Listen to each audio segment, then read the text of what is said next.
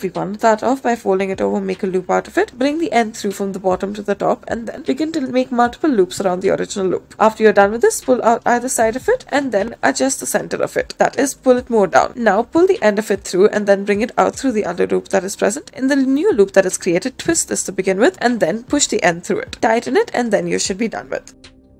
Next, we'll start off by taking our drawstring, wrap it around the finger, wrap it around at the top as such, and then bring the end of it through the loop that you have created. After this, a new loop must still be present. Continue on and bring this thread or that, this drawstring through it. At the bottom, a new loop should be created, and now this is an endless cycle. Continue on and do this until you reach the middle or the end section of this. Once you are done with it, tighten it ever so slightly and adjust the sides in order to make it all the more pronounced. This will be the final look of it.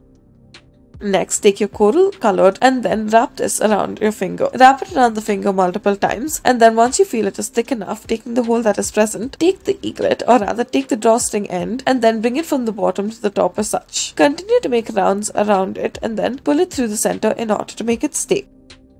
Next, we will take our loop and then bring it up through the top as such. Now, make a dot out of it on all the sides. However, do not pull it all the way through. Leave it as a loop and now pull the end through it. Now, continue on and pull the sides out as such. This will be the final look of your bow-like design.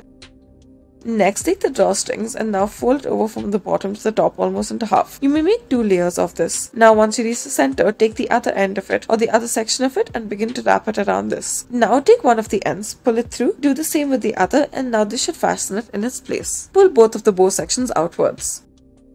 Next, wrap it around a pencil multiple times and now once you've done this sufficiently so, take the end of it and now pull it through. This way you may tie a knot out of it and also it will stand firm as such. Thank you for watching.